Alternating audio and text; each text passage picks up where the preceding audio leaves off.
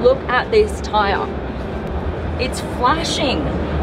So you can choose the color. You can just leave it on whatever color you want. This tire weighs seven times an average tire. How do you open the door?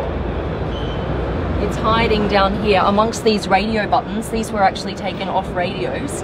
It is right here. I'm gonna push this. Here we go. Hey, doors open.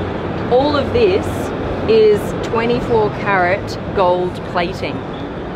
Who would have thought? Right. Now let's get in. Look, check this out. Hello, Susan? Yes, let's go to lunch. what? There's a TV in here.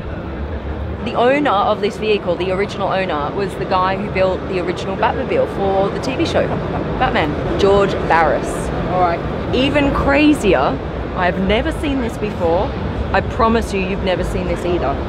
This is the steering wheel. So this steering wheel can be taken out completely and this turns into the steering wheel. So if you want to steer right, look at that, left, right, on just this little thing down here.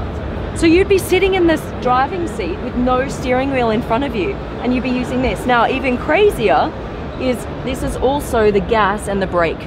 If you want to accelerate, you just go forward like this and if you want to brake, you pull it down. You are controlling the entire car, the steering, the gas and the brake with one little pedal here with your hand. So you're not using your feet at all. This is crazy. How do you get into the back? The seat moves Oh, forward, these ones it's move still forward, very okay. hard to get in there. Right, right. Um, because you gotta like, oh, you're good. You have to really duck to get in there. Um, but he also uh, added the. And there are, what, 3,000 of these buttons on the car? How many There's a little over three thousand.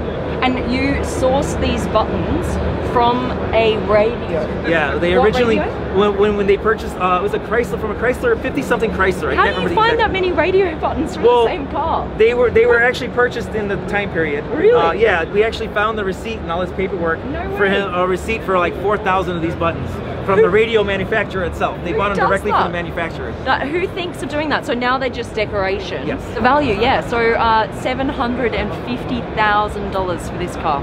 Now, after everything that has been done to it, Yes. is it actually for sale? No, uh, it's gonna actually going to be going to Klairmont Kollections in Chicago, Ah, Illinois. okay, uh, yeah. It's a museum, and once everything is settled down a little bit, it'll find a permanent home there. There you go, guys. Craziest car here at the Geneva International Motor Show. Give us a quick thumbs up, like the video, and subscribe to my account. We've got such crazy stuff to come. All right, I'm out. Love you.